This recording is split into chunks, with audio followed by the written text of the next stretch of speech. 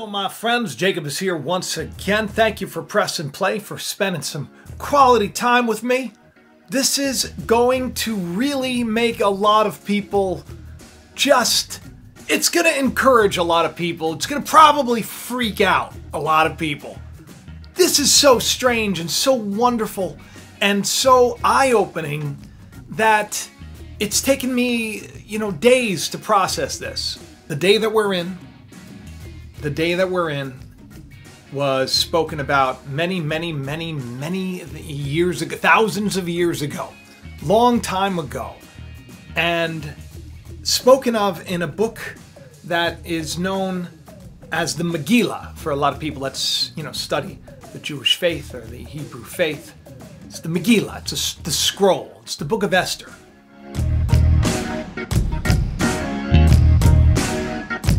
And it has a lot to do with the holiday that is coming up called Purim.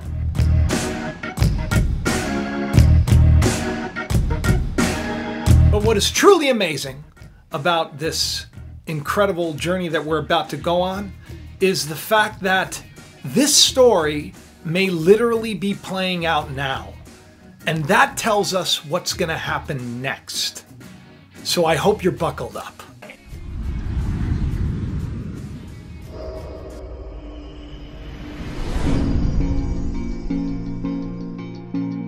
How you doing? Okay, welcome to the show. For those of you that are new, do me a favor, hit the subscribe button. You'll be happy that you did. This is very important. Hitting that like button and leaving a comment, you know, telling people about the channel. It's super important, especially today. Today people need God. They do. And they need to know, especially what God is saying. And God is speaking very clearly today. I don't know if you've been on the channel for a long time, you know that we've watched all of these biblical stories playing out again and again and again, and almost in order the book of Revelations as well as the Old Testament. Now, I've spoken about the book of Esther, and I'm going to give you a much deeper meaning of what this story is about and how it's directly related to all of you and how it's connected to today's events. You to stick around for the rest of the show for that one because that's that's that's going to be mind blowing. But the spiritual significance to the Book of Esther is, is so so incredibly important, especially since Purim, which is the holiday that is celebrated all over Israel. You've probably seen pictures of people dressing up. Some people call it the uh, the Jewish Halloween, which really minimizes it and uh, trivializes it, because Purim, um, which is a loose translation of the word lot, or casting of lots. It's kind of like, you know, you don't know what to do. Sometimes I, I, I flip through the Bible. I want to figure out, hey, what, what do I need to know? And I just flip through, right? Well, they cast lots. That was kind of like, well, what day should we do this on? Let's cast lots. And the day that they came up with basically loosely translates to like March 7th, I guess. This year, Purim is.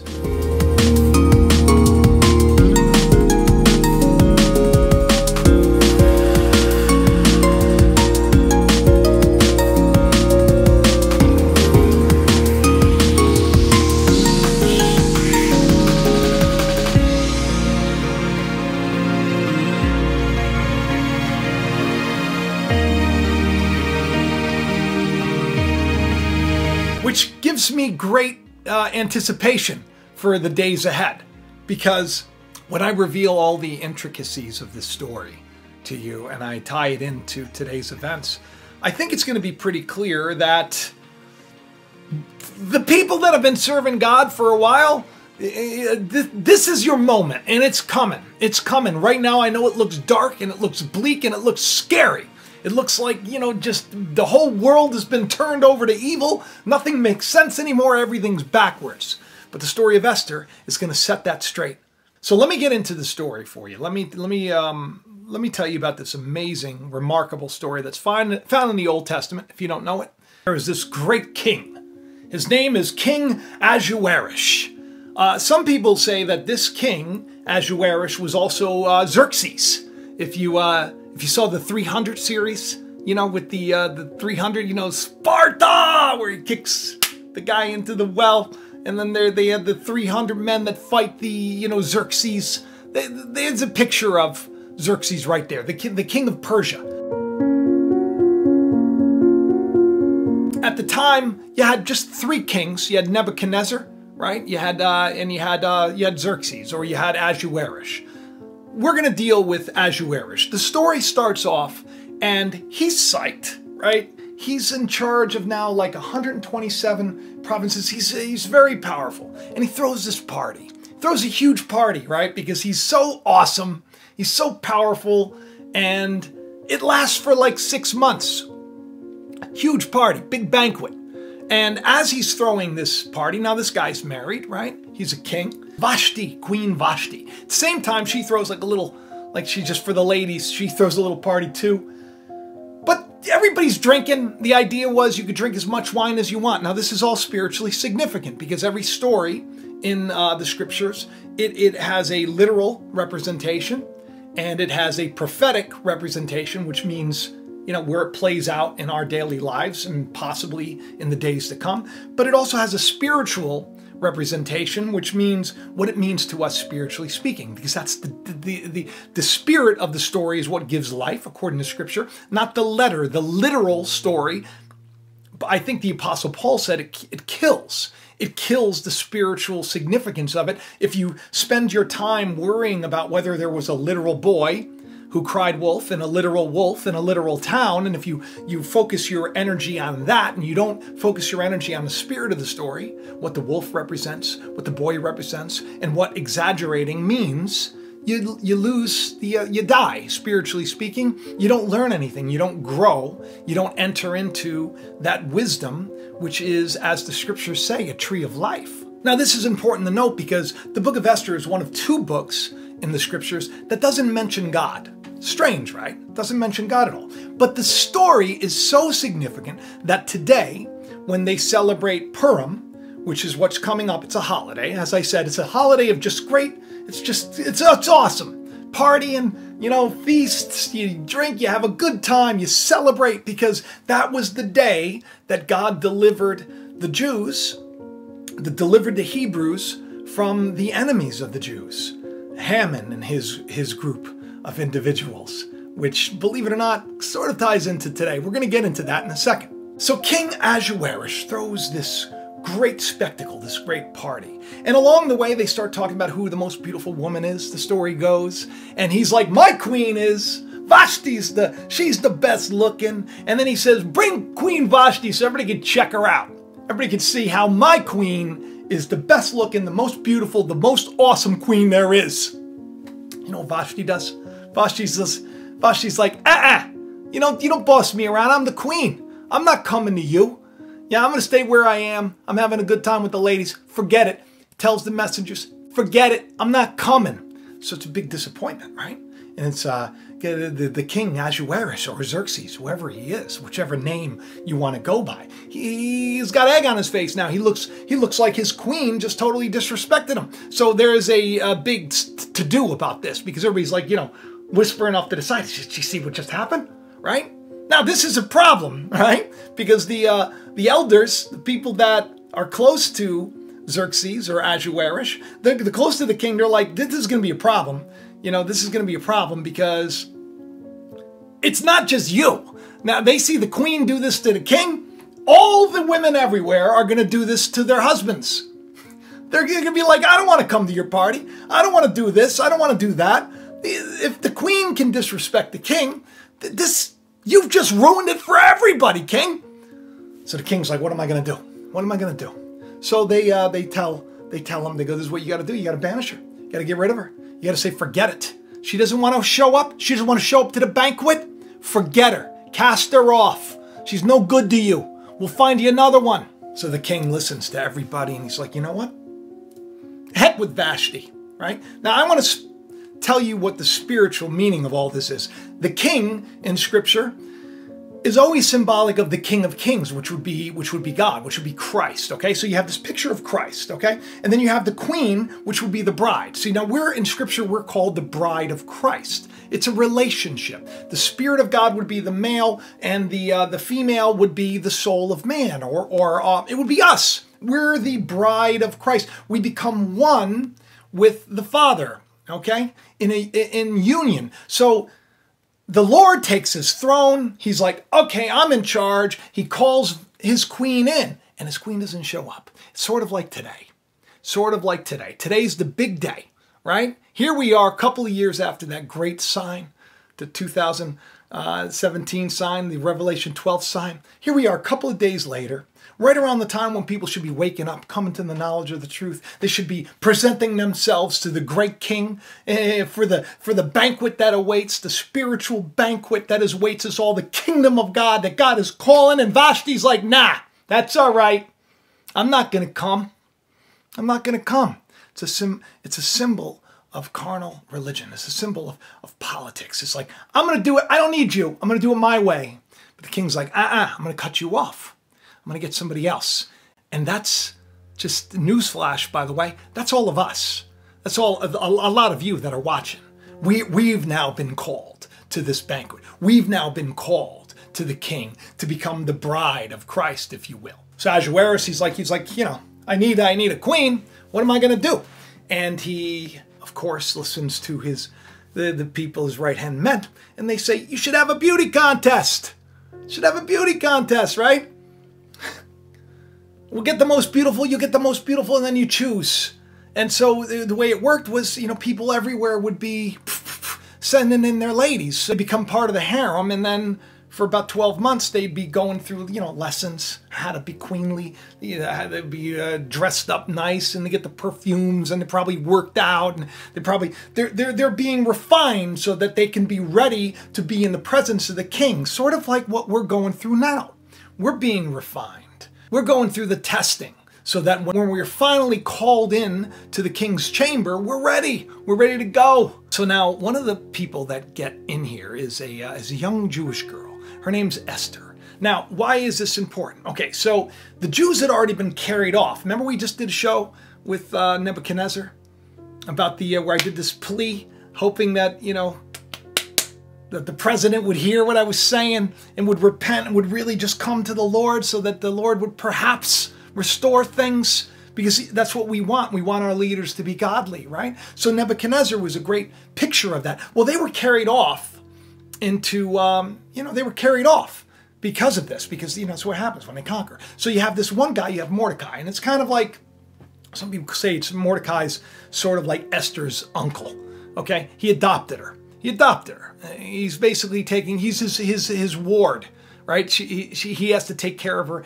And he says, you should, because you're so good looking, you should go in there. And she does, right? And she's, uh, she's accepted. Here's the thing, right? This is, uh, this is a big deal. So now Mordecai, he's worried about his girl. So he's, she's checking in her, checking in on her and seeing how things are going. He's he's always at the gate. He's always at the gate. He's say, "Hey, how's my uh, how's my niece doing? How's my little girl doing? Is she doing okay in there?" He's asking. Mordecai was known to be a very very devout Jew. He was he was known to be a very very devout rabbi, if you will. He was almost a prophet. They consider him to be a prophet in Scripture. So Esther's in her training. She's you know she's getting ready to be presented to the king and everything else, and she um. You know, Mordecai told her though, just listen, you know what? They don't like the Jews. They don't like us they're not big fans of us. So I wouldn't I wouldn't be telling anybody that you're Jewish. I wouldn't say anything. I wouldn't say that you're part of you know of, of the tribe. I wouldn't I wouldn't say that you uh, just keep it to yourself. Just keep it on the down low, right? So she listens to him. She doesn't say anything. She doesn't say anything. And and when she's finally brought to the king, when she's finally brought in to to the king to see the king, you know what? And this pleased the king big time. I shared something about this on Twitter. This.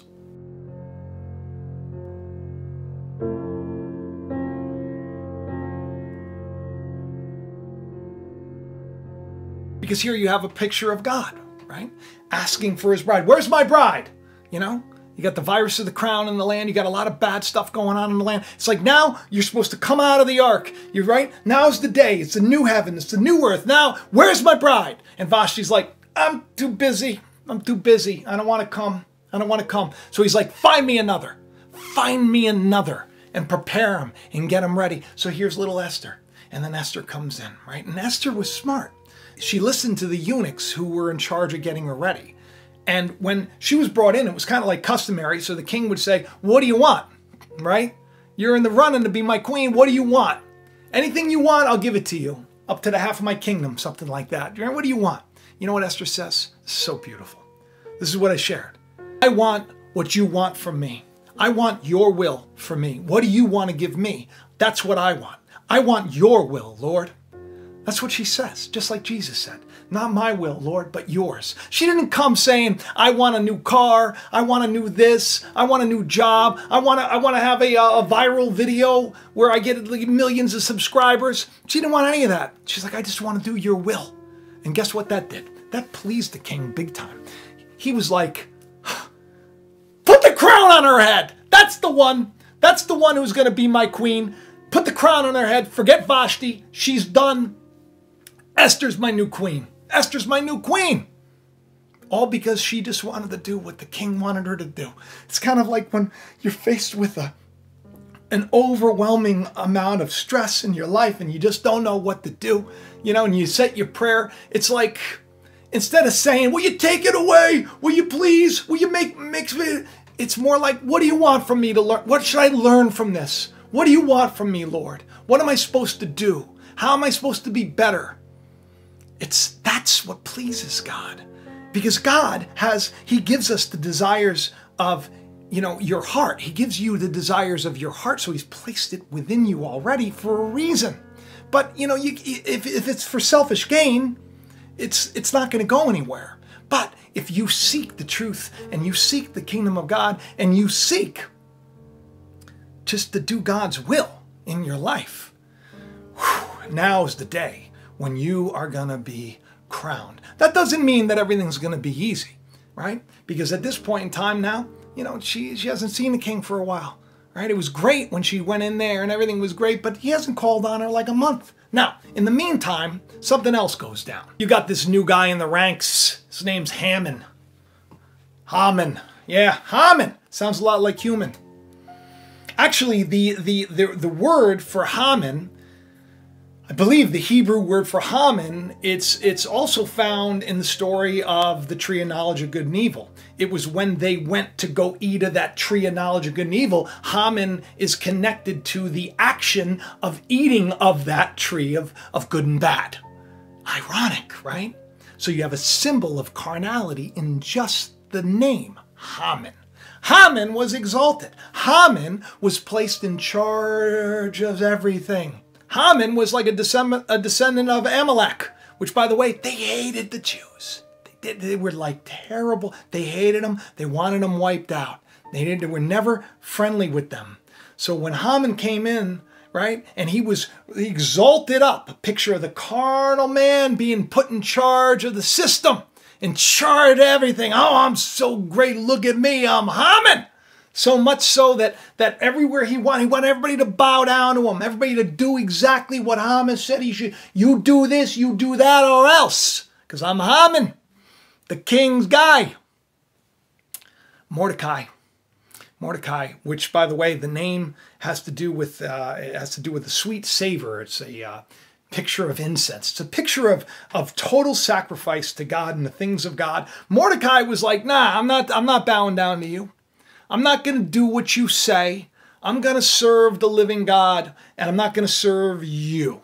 Now, Haman had a big problem with this. Okay, while everybody else is bowing down every time he comes through, when Haman's at the gate waiting to see, check on Esther, you know, Haman walks by and he just stands there like this.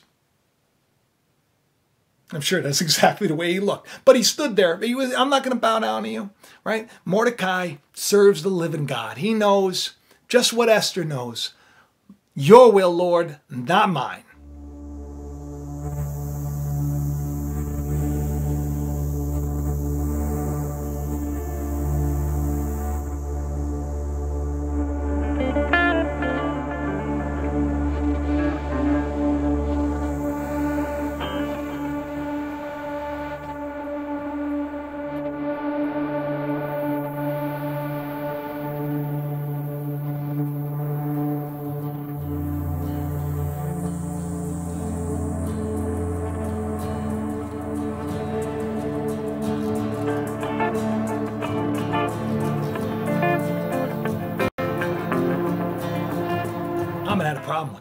He didn't like that guy. He didn't like the Jews at all, in fact. Didn't like him at all. big, big, big problem with the Jews. And it was such a problem that, you know, he just wanted, he wanted them all dead. Yeah, so that's what he kind of sets out to do. He sets out to kill everyone that is like Mordecai. It wasn't good enough for Haman to just take Mordecai out. No, no, no. We had to take out his people too. I want all of them done too. So Haman, who has the ear of the king, king's got bigger things going on right now in his life, right? He's right. He's got a, he's got like all these provinces. He's got a, he's got to rule over all this stuff. So Haman's like, there are these people. They, they, they don't serve the, the gods that uh, other people serve. They don't they don't they don't have the same ways as we do. And I got to tell you something, they're going to be a problem. They're going to rise up against you. They don't believe in serving you. And uh, Haman was making up some lies. Haman was like, you know what? They're a problem. They're like, uh, you know, they're going to come after you.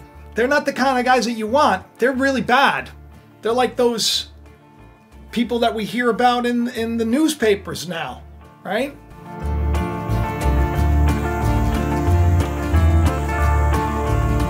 Domestically, they could probably terrorize you. You see what I'm doing here? How I'm tying everything in? They're a problem. We got to get rid of them. Goes to the king. King's like, here you go. He takes off his signet ring. Go do what you got to do. Go do what you got to do, Haman. Right? Go do what you got to do. Right? Because he's, you know, he trusted Haman just like we trust our egos.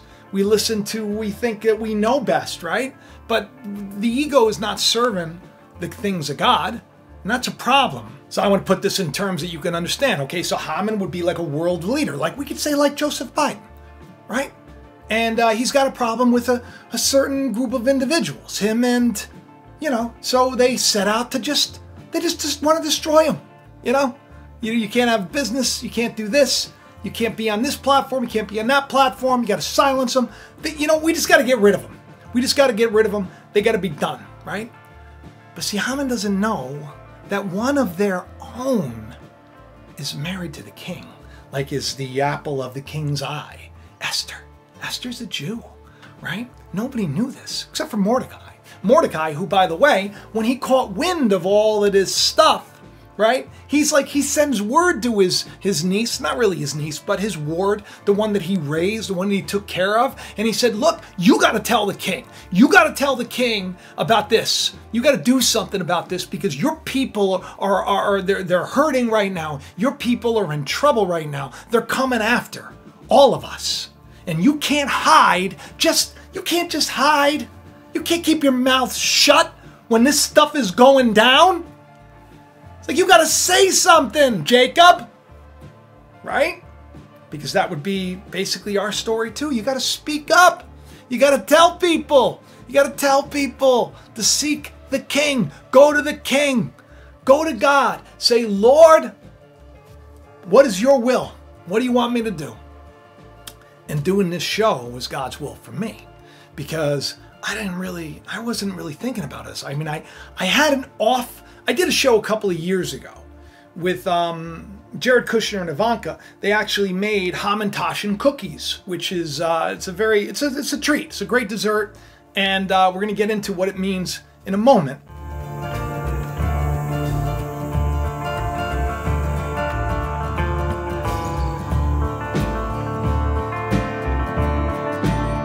But they brought it out to the press. It was kind of like a peace offering, which was ironic because I talked about how the symbolism of it, you know, the press was basically their enemy at the time. The enemy, the enemy of the administration. They were the enemy, and so here they're serving Hamantaschen. Uh, Haman's ears, actually. But we'll get to that in a moment. But I had briefly thought about that video that I did a couple of years ago, which, by the way, took place, the Purim on that year took place on a worm moon, which was interesting because I tied that into my own life. I tied that into the story of Jacob, where he felt like a worm, right? But after two days, on the third day, this is a good thing. So here we are uh, in the third year. This is a good thing. No longer a worm, right? No longer a worm. It's time to rise. So I had been thinking about that out of the blue, and then my buddy Ernie calls me up, and he's like, you know, I was looking at the, uh, I was just reading in the Bible, and Queen Vashti came, and you know Queen Vashti? And I'm like, yeah, I think I do. And for some reason, it was escaping me.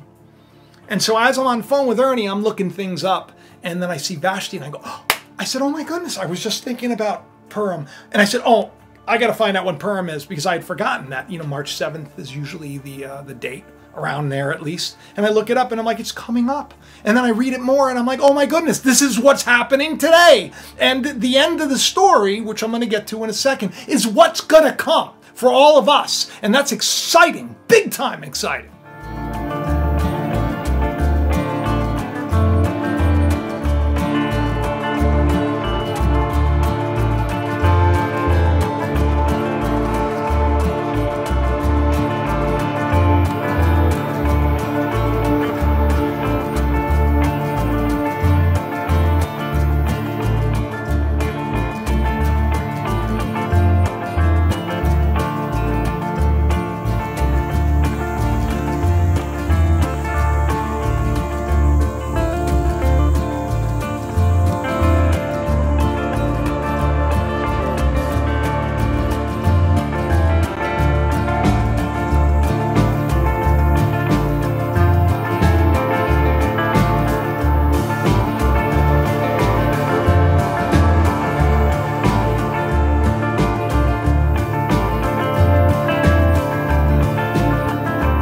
Press secretary likes to say, I'm going to circle back. So let me circle back.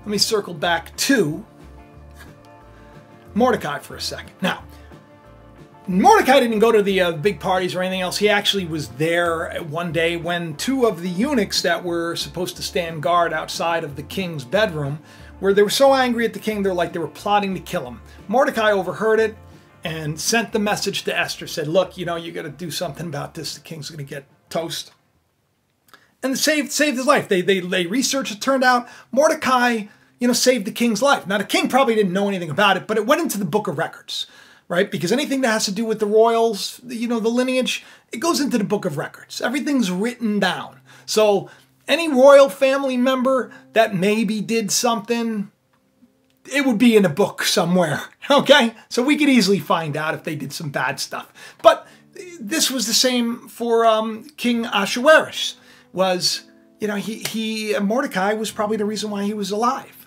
So let's get back to I, I, had to I had to circle back and remind you of that because that happened a little a little bit prior to Haman finally saying, let's wipe out all the Jews. Hmm. So he gets the okay, and it's a big deal, right? It's a big deal. Esther gets the news from Mordecai, you better talk to the king. You better try to get the king on my side. You know, you better get the king to see that you know that we we uh, that you know can't really hide, can't hide anymore, Esther, because they're going to come for you next, right? You can't keep your mouth shut because they're going to come for you next. So you got to do something now while you have a chance. So Esther sends back word and says, "Look, I can't. He hasn't called me for um, a month. See, there was a deal. You can't just approach the king. You can't just go to the king."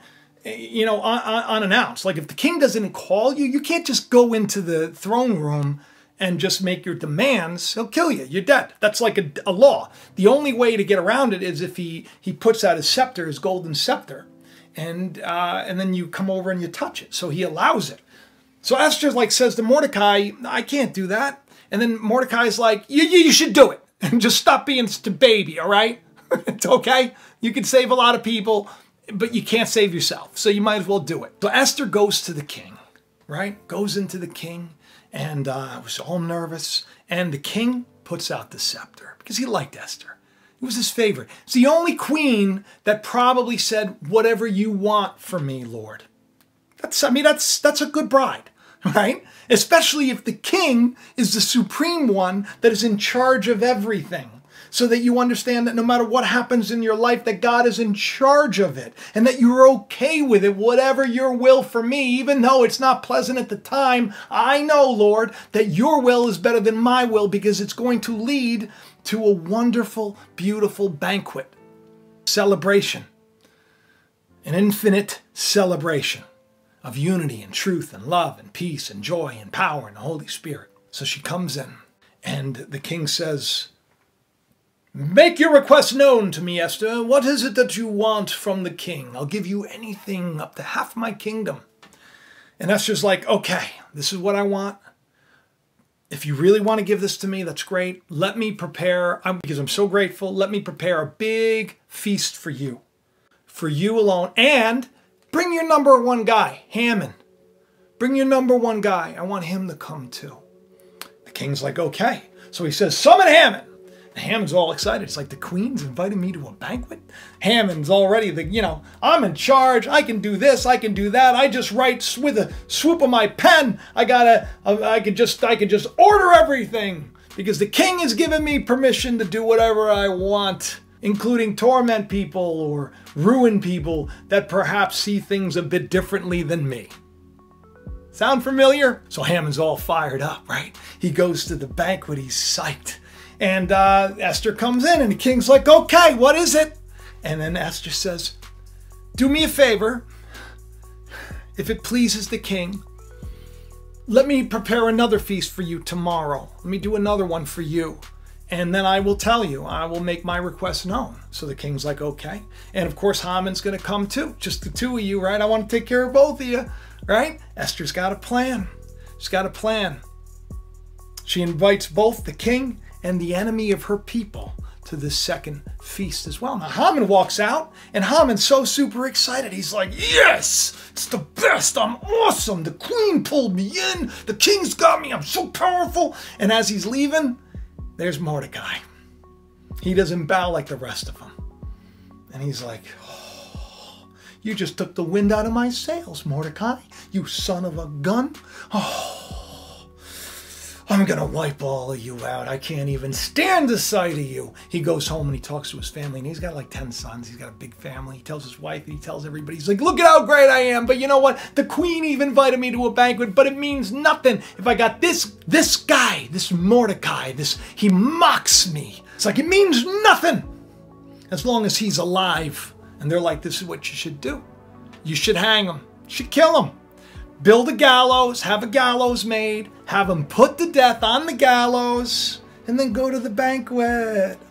And he's like, Haman's like, yeah, that's a great idea, right? Carnal man, human, Haman, beast system, wants to put an end to the truth of God, to morality, to peace, to joy, to prosperity, right? Because it's greed, it's lasciviousness, it's lust, it's Haman's not a good dude. Not a good dude. So Haman orders the uh, the gallows to be made. And um, see, the problem is that night the king has a little problem falling asleep. He's he's like, you know what? Bring me the book of records. It's kind of like uh, it's kind of like going through a photo album. You want to go through a photo album. It's like, oh, I want to know all the exploits of my kingdom, and I want to hear everything about me. Maybe it'll put me to sleep. So he brings the book of records and he, he learns about Mordecai. He's like, this guy saved my life? How come nobody told me about this? He says. He's like, did we honor him? Did we do something nice for him? Everybody's like, no, no, King, we didn't, you know, he didn't ask for anything. He, know, we didn't, we just put it in a book. He's like, I'm alive because of this guy and we did nothing. Okay, Haman's called in and, uh, and the king sits back. He's like, what should I do for a person that has honored me and I want to honor them in the highest way? What should I do? Now, Haman's so cocky, so arrogant, such an egotist. He thinks it's all about him. He thinks the king's asking him. Haman, what a meathead, right? What a meatball. So Haman's like, this is what you should do, king. You should get your royal robe and you, you, you put it on him Get one of your horses, one of your, your great steeds, and have him ride it with the signet on it. And then you should have people shout, This is the man that the king honors. This is the man that the king honors. And parade him through your kingdom. That's what you should do, king. Yeah. Haman's thinking it's all about him. So the king says, Good. Go do this to Mordecai. This is where it gets interesting, folks. You see, right now, a lot of people think that uh, it's not looking too good for them. You see, right now, a lot of people are thinking Uranus is a planet, by the way. You can get a mug in the uh, description. A lot of people are thinking that it's not looking good. What are we going to do? What are we going to do, right? And yet, even though the system was against Esther's people, even though the one guy that hated the other guy so much that he wanted him to be hung on a gallows, the king made him put on a royal rope, put him on a steed, and drag him through the town, Haman himself having to say, This is the one who the king honors. This is the guy that the king wants to honor and reward. Do you imagine how that must have felt. The person you hate the most for no reason, just because they wouldn't he wouldn't bend his knee to carnal will. He wouldn't do it. You know, he didn't want to do it. It's kind of like, you know, people today, right? Some people they don't want to do the certain things that they have to do. I say as long as it doesn't hurt another person, you should do things because you should always seek to have unity and peace and joy. And you should just trust in god that things are gonna they're gonna be revealed and and uh, the truth is gonna be known. And god even though you may be persecuted right now is gonna reward you openly by your enemy. That's one of the psalms one of the beautiful psalms. He prepares before me in the presence of my enemies a table right? People that want to see you do bad people that want to see you hurt all of a sudden you're promoted. All of a sudden, they got to throw you a party at work. People that hate you the most because their boss is like, you gotta, you gotta honor this guy.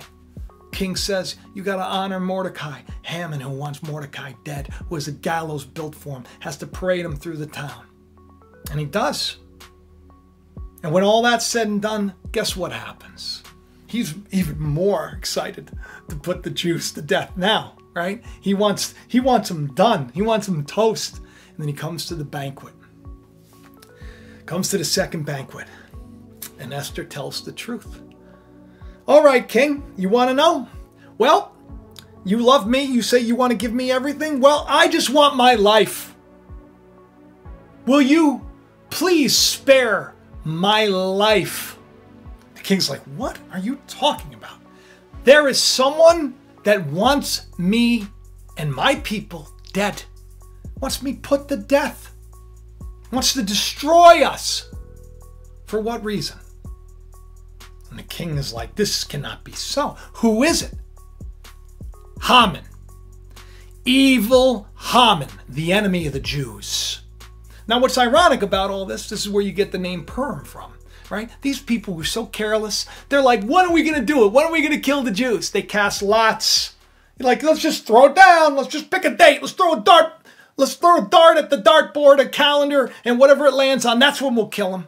And it turned out to be March 7th. It was casting lots. Everything's about what they call coincidence or chance, but nothing, everything works together for the good of those that love the Lord. Everything works together perfectly.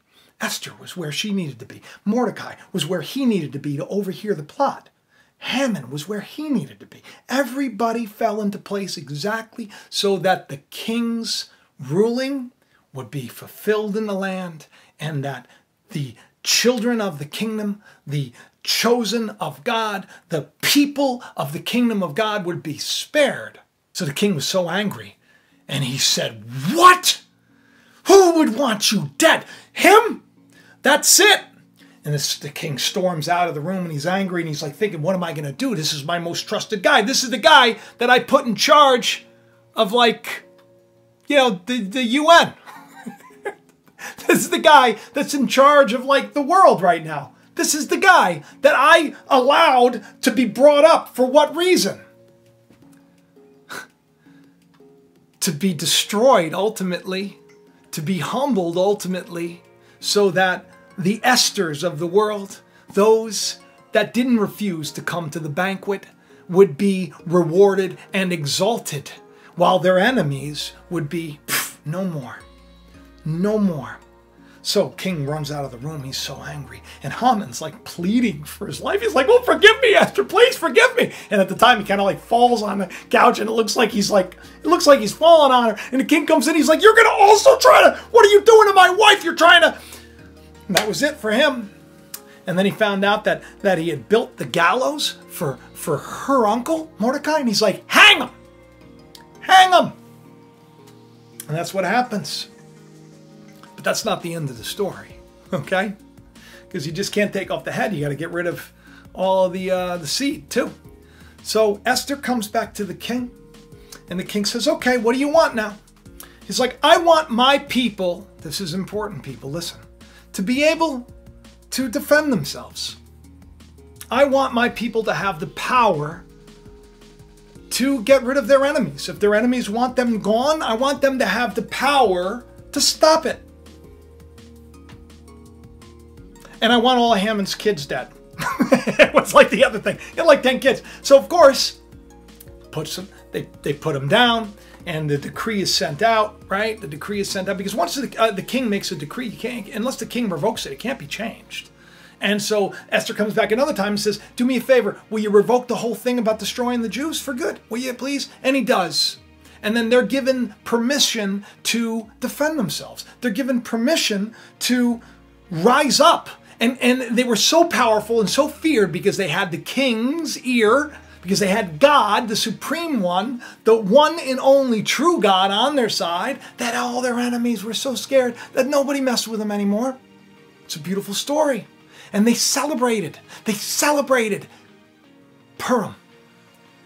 Because by lots, the day was cast that they'd all be destroyed. And by chance and coincidence and God's hand, they were miraculously delivered.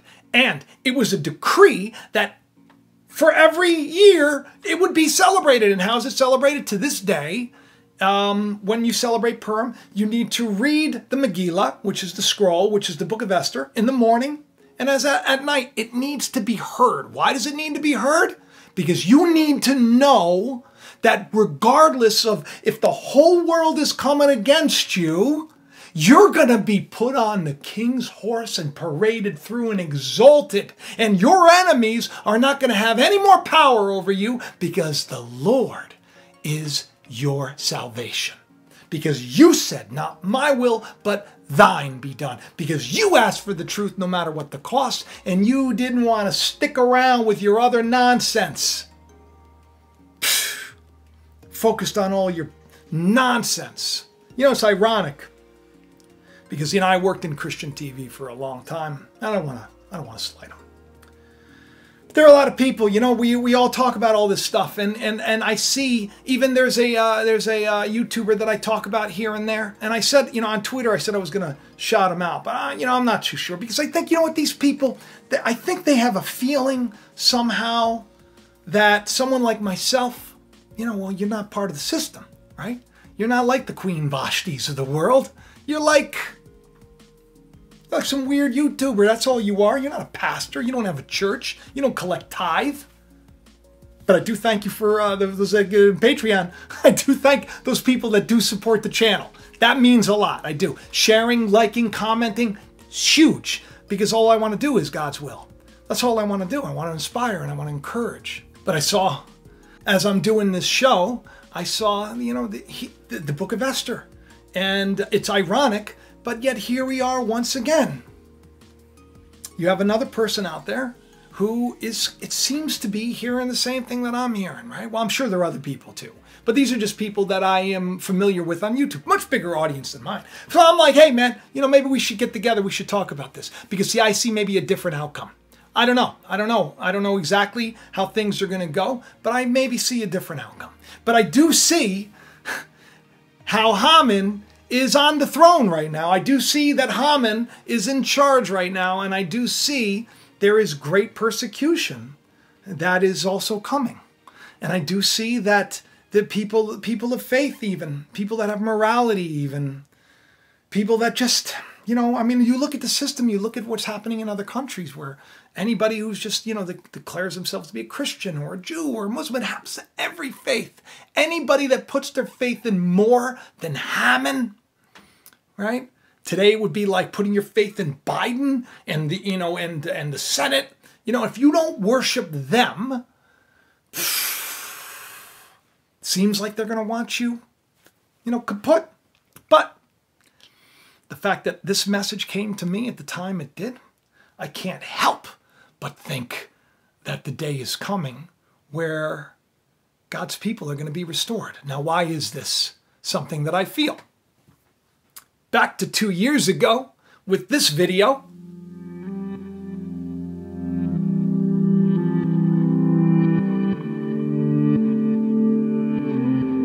Which happens to be a live stream, ironically. I talk about how Jared Kushner and Ivanka, that they prepared these, these uh, delicious desserts. They're called hamantaschen. They look like ears. Take a look. Haman's ears. They eat them, right? Because it was the enemy of the people. And it's become like a tradition. It's become a tradition to remind everybody of the day of Purim. This is what we get Yom Kippur for. Yom Kippur is the new year, but it's supposed to be like as it is on Purim or or or celebrate like it's Purim. They don't really celebrate that way. They celebrate with fasting and other things. It's a little strange, but celebrate like it's Purim, like you just were released from bondage. You were just set free from the gallows. Celebrate like that. That's why today they put on their costumes and they party and they have a good thing. But so Ivanka and Jared, now they're Orthodox, right? So they prepared all these Hamantaschen cookies. And I thought it was so strange because they were giving it to the reporters who they considered their enemy. And it was almost like I was looking at two years ago a picture of them handing over the Hamantaschen cookies as like a symbol. Like one day, you're going to get your just desserts. One day, you know, whether it's the fake news media or whatever you want to call it, one day, the system, you're going to get your just desserts. And it's happening everywhere. The whole system is falling down. We see corruption like you wouldn't believe. I remember years ago when I did this, this video and I was praying, I'm like, that there be corruption revealed in this, corruption revealed in that, that people's eyes would be opened. And, and here we are today. Here we are today. It's almost like every institution, corruption everywhere. And everybody's so scared. But yet I know, as perhaps Mordecai knew, maybe he didn't know, he was probably scared but I know that God's got a plan. And it is a plan that, regardless of what's coming against us, regardless of how things seem to be, as long as you are going to the king and saying, Lord, your will, not mine, be done, he's not going to want anybody to mess with you. You get what I'm saying? So, this is an important thing because Purim is coming. It's coming very shortly. And I wouldn't doubt that we see within the next couple of weeks something beautiful and huge and dramatic taking place in the world. Something of that ilk, of Haman's ilk, where perhaps those people that right now are pointing fingers, those people that are right now trying to silence this and silence that, that perhaps things are already in motion. The banquet's here, Esther's here, and Esther's like, King, do me a favor, will you? Will you save us? That's what I'm praying. Will you deliver us? And the Lord is like, Oh, I can't believe I let these guys in charge. I love each and every one of you. I hope this beautiful story of Esther, the Megillah, the scroll, whatever you want to call it, I hope it inspired you. I hope you understand the day that we're in because it's literally playing out. It's literally playing out. All we have to wait for right now is um, the sweet dessert that awaits those that come against God's chosen, God's people. And that's a lot of you. So do me a favor, share the video around, tell your friends, because this is an encouraging word, because God is all that's real. God is the only thing that matters.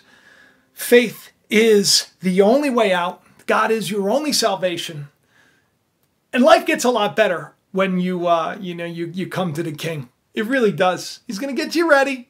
But when you're ready, oh God, you're gonna smell nice, you're gonna look nice, you're gonna feel great. it's gonna be a good day. So I love each and every one of you, and I'll talk to you soon. Bye-bye. Thanks for watching Jacob Israel.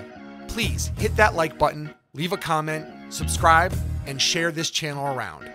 If these shows have helped you, help Jacob to reach more any way you can, and have the best day ever. Click it.